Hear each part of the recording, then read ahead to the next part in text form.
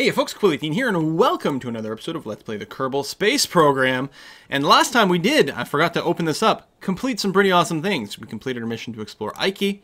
We transmitted scientific data from the surface of Ike, which apparently wasn't worth a whole lot for us. All right, that's kind of annoying.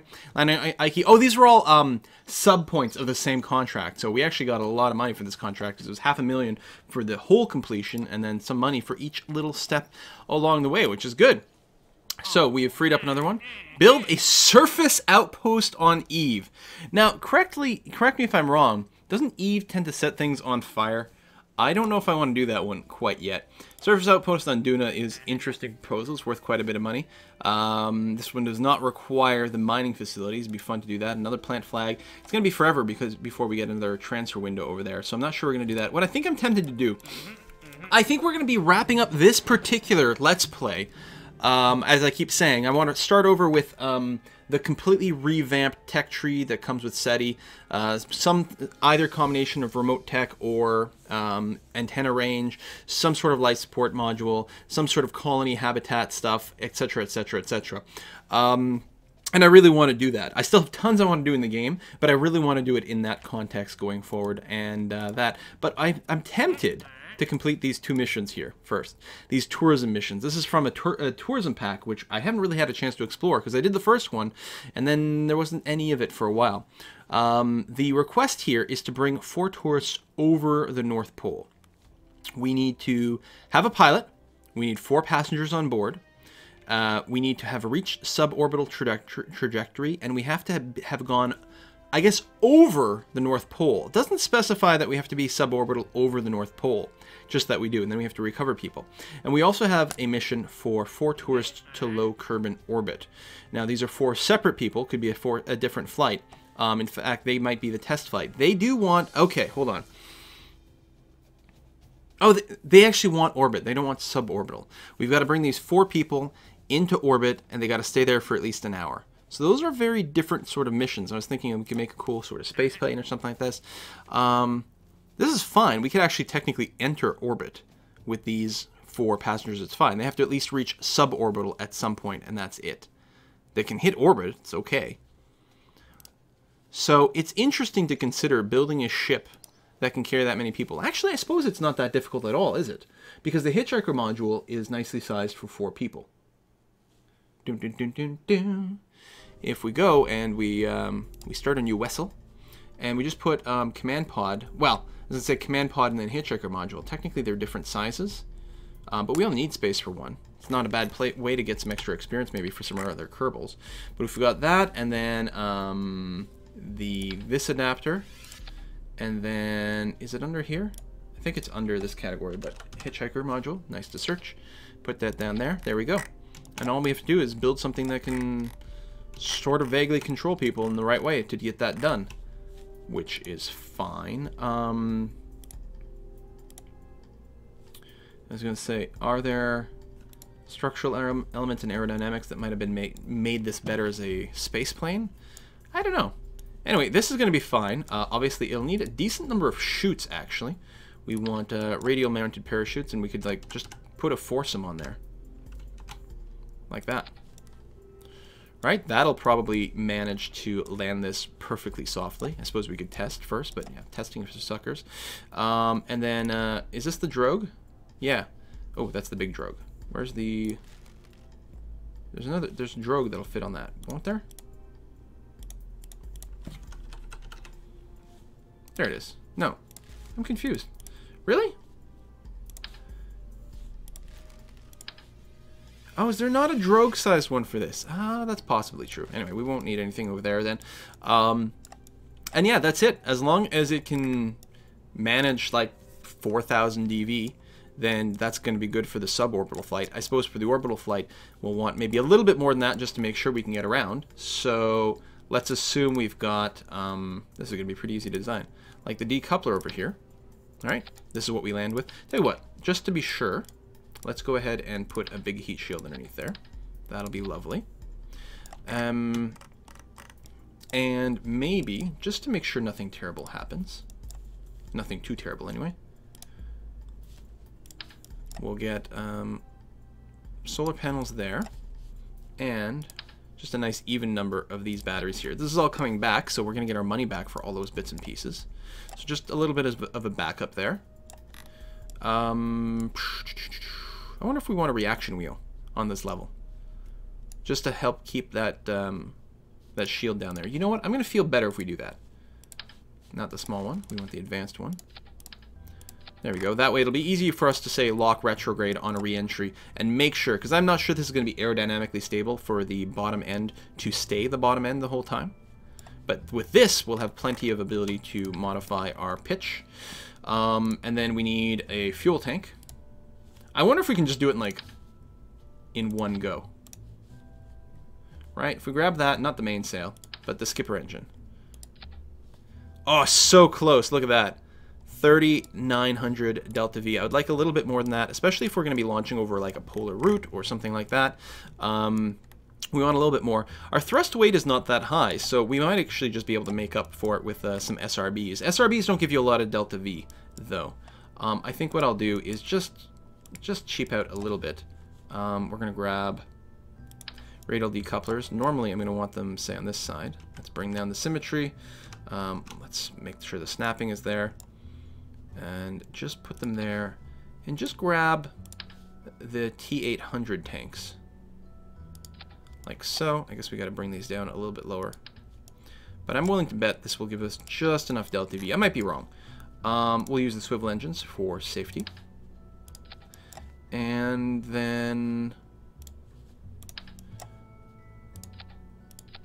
Fuel transfer into there and make sure that our staging is correct. All the engines go on, then we drop those off.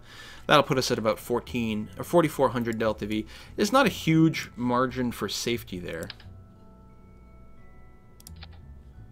4800, which should be more than plentiful. Go ahead and put in, um, let's put in a strut connector over there put in the nose cone. Should we make it look cool? Use the type Bs over here. Grab the rotate tool. Hotkey for that is 3. Move it in.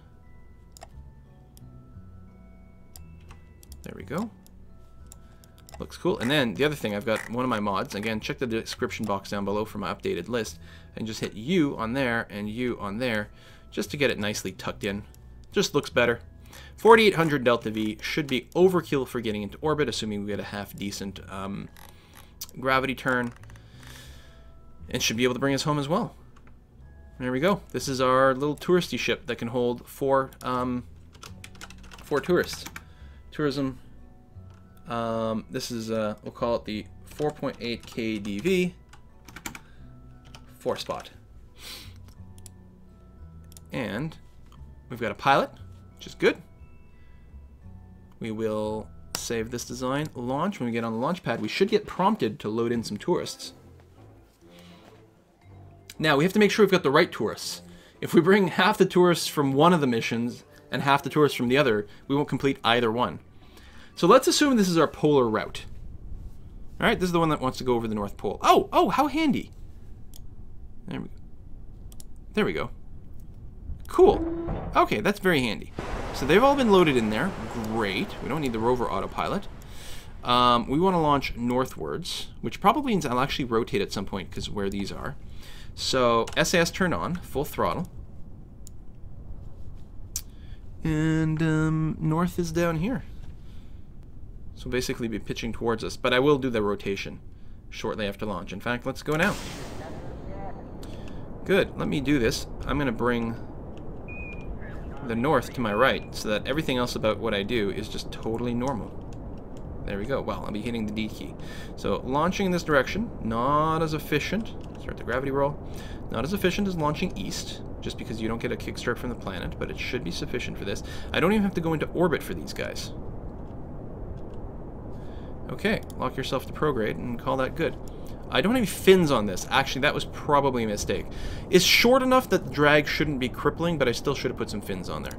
Waypoint Manager, why don't you go ahead and uh, mark me the North Pole for the tourist route. Um, should that not be over there somewhere? Should I not be able to see it? Tell me I'm going north. I am. Oh, there it is. Yeah, good. Through the ground. Perfectly fine. Separate. Oh, I didn't put parachutes on there. There's some wasted money. Oops. I have started a checklist that I'm supposed to follow when I construct, but I'm trying to rush a bit too much here. I'm going to go ahead and just try to line us up a little bit more on the actual north ball. There we go. And the SAS is going to try to keep me locked towards prograde, generally speaking, so I'll just give it a couple of nudges over here just to be on that northern line as much as possible. Northern line, not northern lion. There we are. Okay, we're probably a little low here, so let me go and fight my own SAS settings just to go and try to bring up the apoapsis time a wee bit. In fact, let me go into normal SAS mode, or kill rot, either one, exactly the same. There we go. Whoa, no, no, no, no, no, no, no, no. I did go a little too far, and we are getting some drag effects. I guess we're only at 20k. Okay, 35 seconds to Apo. That's not too bad. We're back on the correct line here, which makes me happy. Apoapsis time is rising, which I'm pretty happy with. Good. And now I think I can probably be very happy just locking to prograde some more. Okay, time to Apo, Apo is actually going up still, which is okay. It might be a little high. We might be able to roll down a little bit more, but yeah, let's go ahead and say, you know what, we can be a little bit closer to the horizon at this point, because it is climbing quite quickly. Good amount of fuel left. And we don't actually have to get into orbit. We do would like to get into something flat enough to... Whoa! Oh, there we go. Yeah, that's true. As soon as this changed to orbit mode, we're... Uh, oh, that's probably why our nose wasn't where it is. I, am wondering if when we were fighting prograde... No, no, we are still using the surface prograde.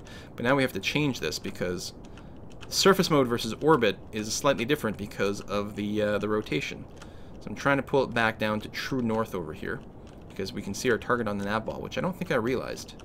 That's very handy. Very handy. Whoa! Apoapsis is way too high. We're running low on fuel. Are we going to pass over our target? Well, we are, yeah. We don't actually need to go orbital for these guys. We are not quite going to pull it off. We want to head... Where are we? Over here. So we actually, because of rotational effects, we need to make sure we're a little further left. What's the best way to do this and not die?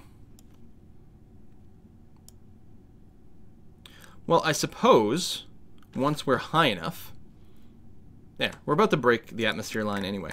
I could literally aim this way and burn.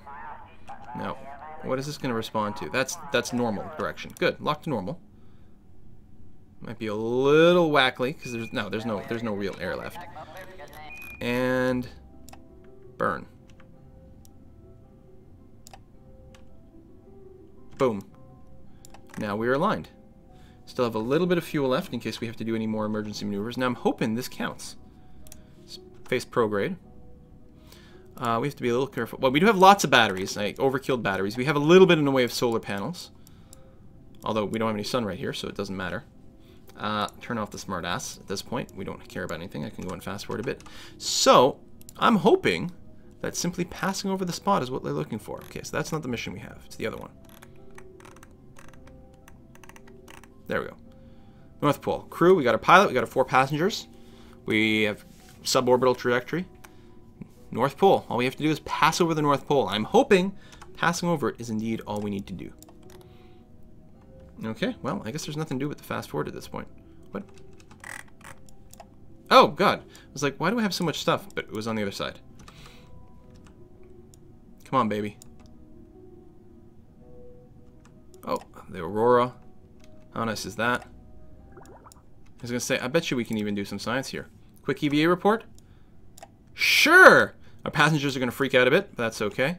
Let me rotate so that our door is at the top, and there it is. Oh!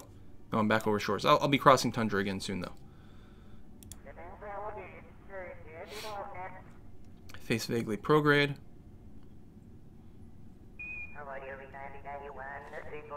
Power should still be more than fine, indeed. Oh, and our solar panels are working. That's the advantage of being over the, the north here. We're not likely to get eclipsed.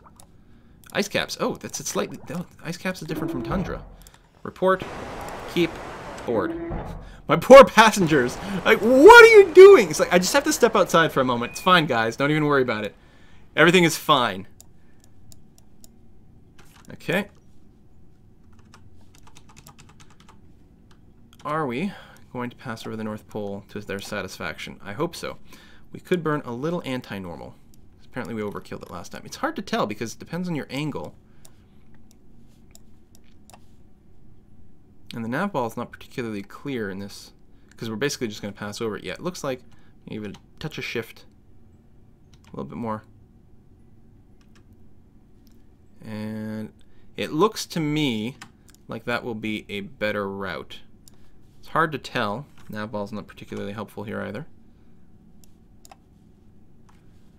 And we're actually facing in this direction. I don't know. If that doesn't count, I don't know what will. Well, unless they want to be on the ground, but they didn't they didn't say that. Bring the tourists to the waypoint. They say over the North Pole. I'm hoping this is not too high. I wonder if there's something down there. It might be like a little stick or something. They've got these little ETA to the North Pole. Well, one we're still pretty far. We are passing over it.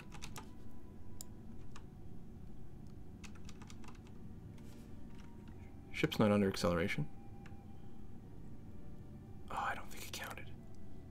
Oh no. Do we have to land at the North Pole? Or am I just too high? Oh no, you guys! Bring four tourists over the North Pole. I did! It was right there! Look! I passed over it! On a suborbital trajectory. Trajectory. Well, poop.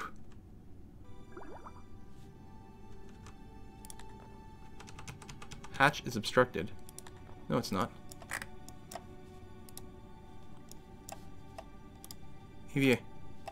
It's not obstructed. That keeps happening. I'm, I'm not sure what's going on here. Alright, well, let's time warp enough to re-enter here. Oh, I'm so sad. Well, we can run the other tourist mission. The other tourist doesn't have any, like, weird specifics about where we go. Oh, um, I suppose I can burn off the rest of my fuel. Hey, maybe I should have done it before. I shouldn't have gone so high, maybe.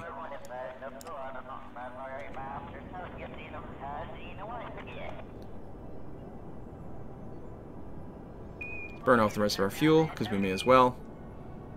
Also, there should have been more um, parachutes on all the things.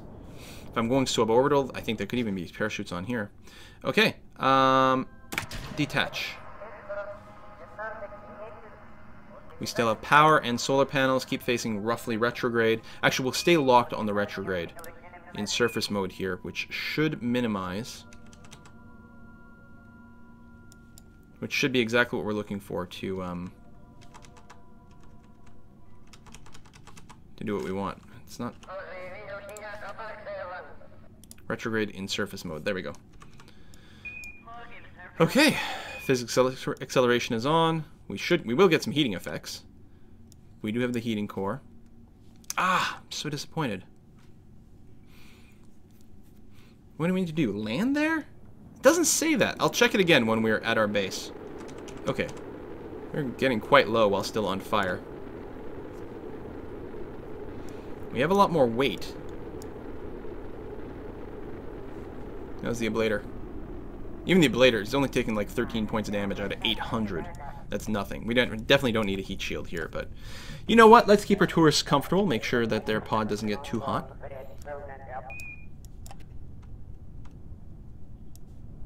I don't know. What, uh, there we go. True altitude.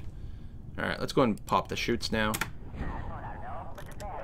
Take longer to land, but better safe than sorry. Max acceleration, and there's the full deployment. And I'll try to kill the, uh, the physics warp right before we land. Okay, now, we are going to land with over 6 meters per second acceleration. I'm hoping that this is fine. Maybe I should put some landing gear on there. That's... Okay, we didn't kill anyone. I'll accept the fact that we're not making any money off that mission. I'm disappointed. I'm very disappointed. Hmm. Let me check the text. We do have a lot of a lot of science kicking around. Okay. Bring four tourists. They would like to see a specific site. Bring four tourists high above the North Pole. I did. It didn't count it as a success. They flew high over the North Pole.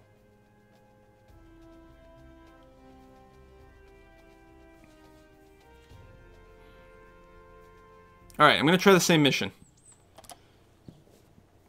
Try the same mission. Come on, load. So here's what we're going to do.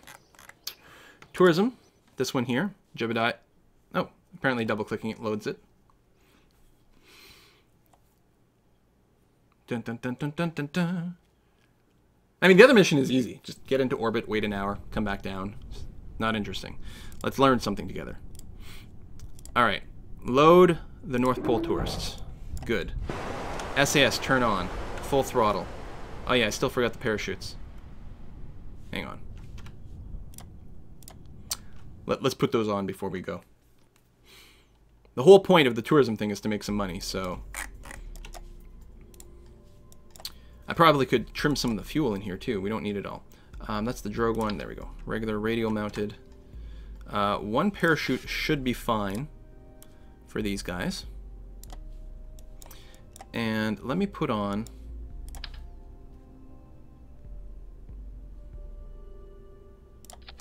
that and the drogues for this bit over here. The drogues will deploy first. Hopefully that will be successful.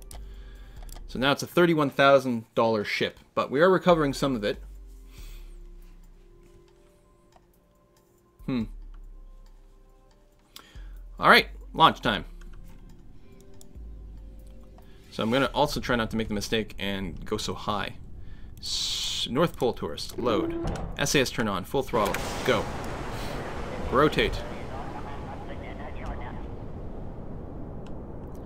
And gravity turn. Okay, unlocked prograde. Oh, ah, I forgot the fins again. I mean, I don't need them. It's, again, it's short enough and it's got enough gimbling that it seems to do perfectly fine.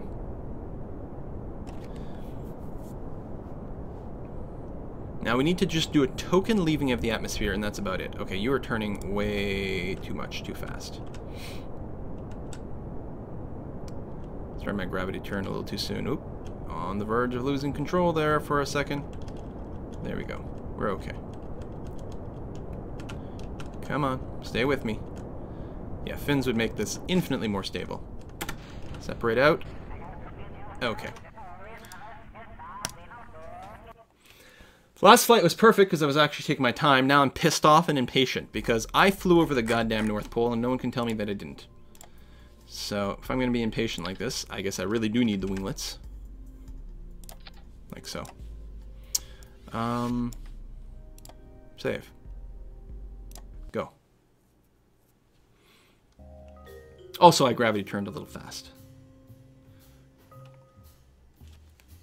Normally I wait until I'm going 100 meters per second or I'm at least a kilometer up. Whatever comes first. Repeat. Go. Load passengers. SAS. Go. And turn this way so that I can just use my D key for my gravity turn, which is what I'm used to. And everything on the nav ball will look the way I, normally expect it to. Also, because of where the um, boosters are, they'll separate with a little less chance of hitting my main core. Okay, let's go ahead. Get that going. So we're about 10 degrees over, right around the right speed. Keep that there. Now lock on prograde. Oops, nice little bit of lag as I'm trying to click the button. That's always nice. I clicked the button and there was a, just a brief hiccup in the frame rate.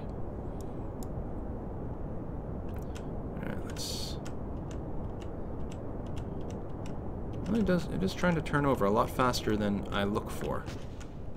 Separate that off. A lot more stability though. And I think because the Earth is turning under me, that's why it's I sort of have to chase it. It's kind of interesting.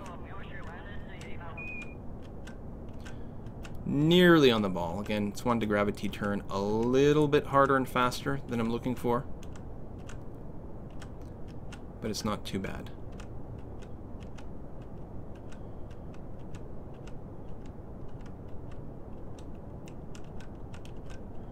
It's still a little much there, buddy. Go to stability assist instead of uh, prograde tracing. Just lock me on the 45 degree for a little bit longer.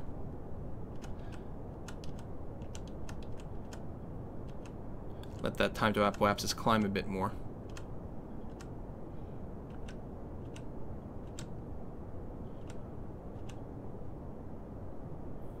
Good stuff. Okay. I'm happy about this. Heading straight north. Time to Apo is climbing. We'll try not to overkill it as much. And if at all possible, let's see if we can land at the North Pole. A will be lower, which might have been the key. I don't know. Maybe we're just way too high.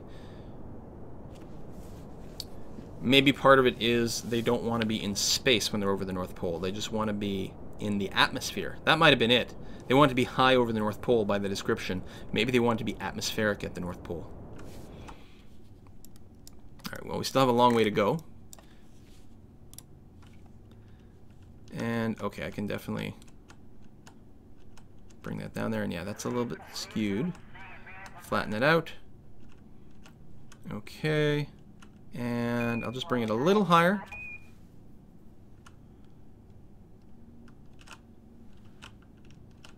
And just try to bring us a little closer due north here. Alright, let's kill that. Stay facing roughly prograde just for aerodynamic reasons but the engines are off. We are still in the atmosphere, so we'll bleed off a little bit of our apoapsis, although we're pretty high and it's pretty thin at this point. When we get a little bit closer to the top, that's when I will burn prograde to flatten out our orbit, and we're going to try to land right near the North Pole. Fun times! Alright, let's do a little physics warping. Although, I should keep an eye on things, make sure this thing isn't going to shake itself apart. No, it's pretty stable.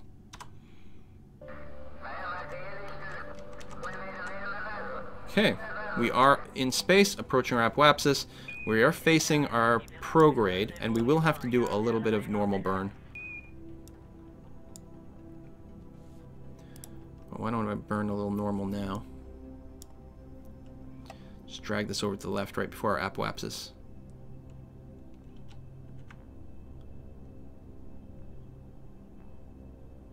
Good. That looks better.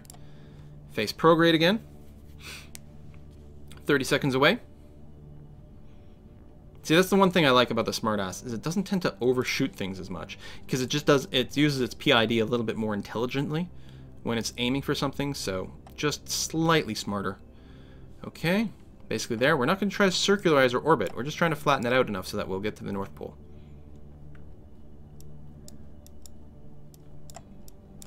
Fly over it kind of low maybe even land near it. We have to remember, oh, there's going to be a lot of atmospheric effects. Once we dump, drop back into the atmosphere, we'll be breaking pretty fast. So we want to overshoot it a fair bit.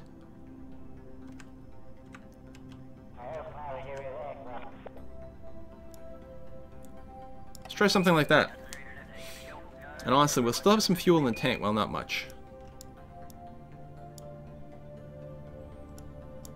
But we might be able to fight some of these effects if it turns out we're going to fall a little short. Looks to me like we're lined up pretty well. I wonder if there's this uh, waypoint actually is thinking of a specific altitude. It might be, which might mean we want to actually run right through it. More like that. Technically, this is orbital, but we have completed the first part of the contract already. Because they went suborbital for a while, and of course they'll be suborbital in a second. This just means like you don't actually have to establish a full orbit. But in theory, we might be passing through the sweet spot now. So let's let's see what happens. We are going to re-enter the atmosphere soon, which will blow off some of our speed. But not quite yet. 76k. And you know what I'll do? I'm going to face myself retrograde right around here. We'll hit the brakes maybe. Sure. Keep data. Board. Oh, shit. Um, are we in the atmosphere? No. Why is the thing going all so crazy? Uh, quickly, quickly, quickly. Where's our hatch? Above. Down, down, down, down, down. Up, up, up, up, up. Nice. Thank you for lagging. Appreciate that. Ah, my god. So far away, I'm not getting a proper context as to my position here. Back, back, back. Forward, forward, forward before we get in the atmosphere, please. Grab. Oops. Now my passengers are really concerned. Down and board. Okay, everything is fine. Just before we enter the atmosphere. Woo! I wasn't panicking. Were you panicking? I wasn't panicking.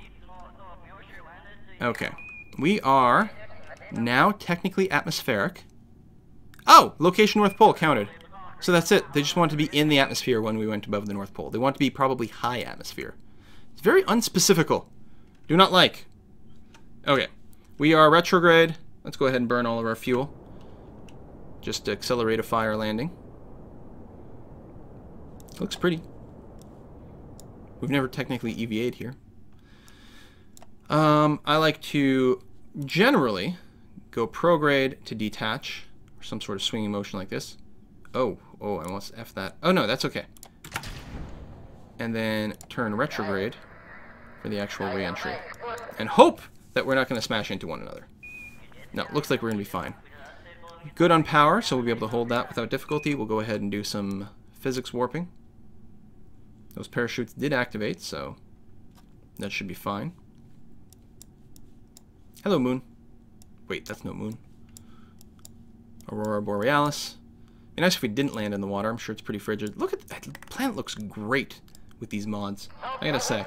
And I'm happy that mission succeeded. I was gonna be kind of frustrated if it didn't.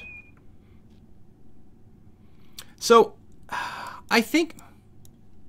Yeah, I think what we might do, you guys, well, there's a couple of possibilities. I suppose we could keep going through all the tourist stuff and get to the point where we're building a giant tourist casino. Um, let's slow that down, because apparently I'm getting heat effects on the batteries. That's a big memory leak, right? So what do I hit? F10? Hide that. We might blow off the batteries, but we can live without them. How come we didn't get that last time? Because I'm sure we didn't. There goes the batteries. Well, at least a battery. Yeah, how odd. A little worrisome, but not crippling. Didn't blow up all our chutes. Okay, let's go back to physics warping until we get a little bit closer to the surface, just in the interest of keeping this a bit short. So yeah, I very I think I think next time we are gonna be we're gonna be trying all the crazy like multi realism mod things. Uh, I can properly turn off the SAS at this point. That's okay. And let's fully deploy the chutes cloud layer. Looks like just really crazy amounts of wind over here. There we go. Still 350 meters. Yeah, actually it is just frosty here. Look at that. Very cool. And again, I'll try to stop the physics warp right before we land. Just in case it leads to any more weirdness. A little slower than last time, because I guess we don't have the weight of that extra battery. We will recover this vessel, please. Yes, there we go. Didn't take the first time. And complete that quest, which is giving us a decent amount of money.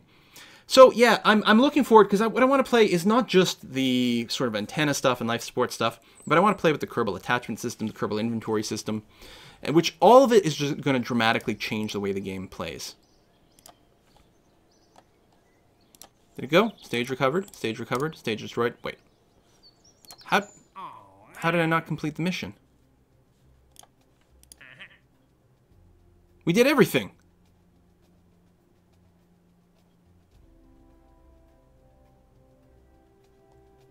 Location. Bring the tourists to the waypoint. Maybe they did actually want to land right on it. Screw it! Screw it. This save is going to be gone. We're going to be starting a new one. I might kickstart with a little extra money and science, just so we don't have to grind all the science on the uh, the ground here. Or I might do some of that anyway and just do it off screen. We'll see how it goes. But uh, stay tuned next time. We're going to have a dramatically revamped Kerbal experience. Thanks for watching, everyone. Bye bye.